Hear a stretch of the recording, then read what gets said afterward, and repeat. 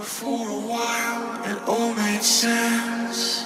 It might have been just a dark pretense, but you had me. And I loved it. To be with you, to be the one, to live a lie—it really got me all excited.